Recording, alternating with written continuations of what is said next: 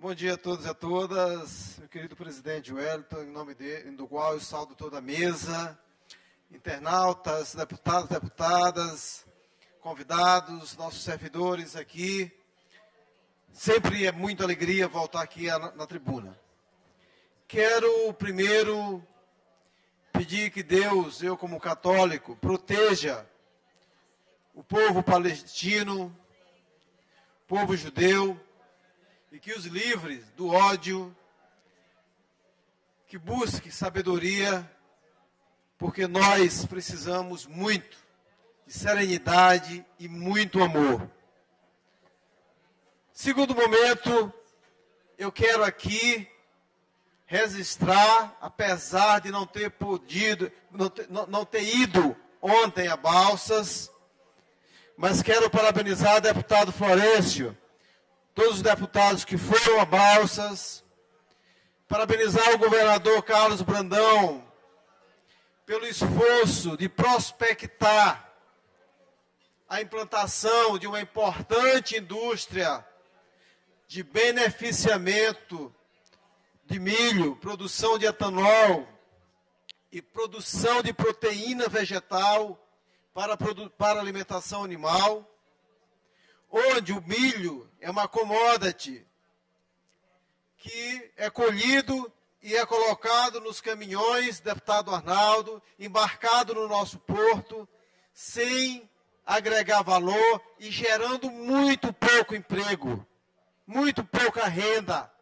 Mas quando existe a implantação de uma indústria que é agregado valor, se gera renda, se gera emprego, se gera desenvolvimento. Eu tenho um sonho, deputado Arnaldo, que, se Deus quiser, não muito distante, não veremos mais milhares de maranhenses nos postos de gasolina da Baixada, do Miari, do Baixo Parnaíba, se deslocando em ônibus, muitas das vezes com insegurança, para colher cana, colher laranja nos estados do Sul e do Sudeste. Vamos lutar para que, de fato, nossos irmãos maranhenses, que saem daqui com a esperança de buscar dias melhores, às vezes encontram somente doenças, drogas, destruindo as suas famílias. Então nós precisamos sim lutar pela industrialização do setor primário. Mas precisamos também, deputado Zé Inácio, estar muito atentos. Porque, e faço aqui um apelo ao governador Brandão e todo o governo do Estado, que e faço também a esta casa, para que nós possamos nos juntar deputado Neto Evangelista, com a mesma energia para trazer a indústria de etanol da IPASA, possamos nos unir para também implantar a fecularia, deputado Najib, que um dia foi lançada a pedra fundamental aqui em Humberto de Campo. Deputado Júnior Cascaria, a mandioca também é produzida em todo o Maranhão. Quando nós começamos a industrializar a mandioca aqui, deputado Najib, nós vamos também atender milhares de agricultores familiares. Nós vamos poder, produzir fécula para beiju, nós vamos poder produzir eh, vários tipos de farinhas para as padarias.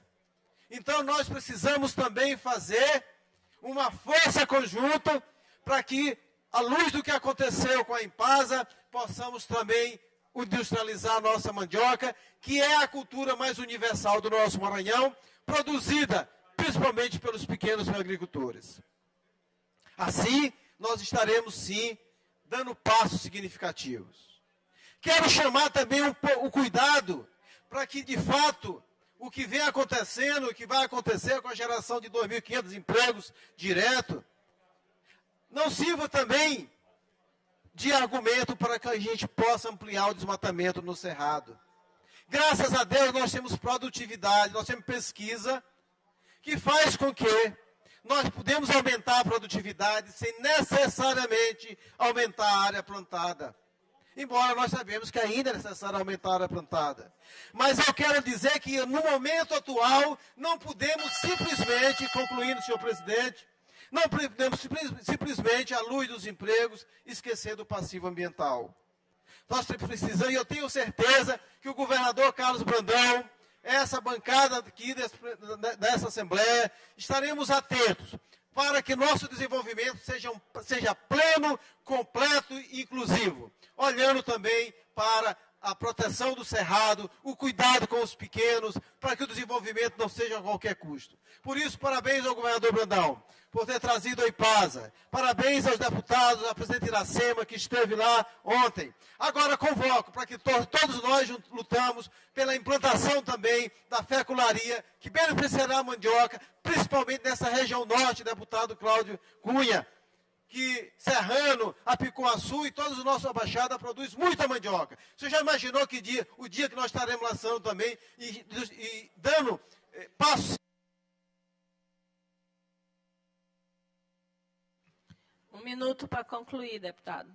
Você já imaginou no dia que nós estaremos também em grande caravana, dando início à construção da nossa sonhada fecularia, que um dia foi colocada a pedra fundamental em Humberto de Campos. Vamos junto na construção do Maranhão mais justo. Muito obrigado.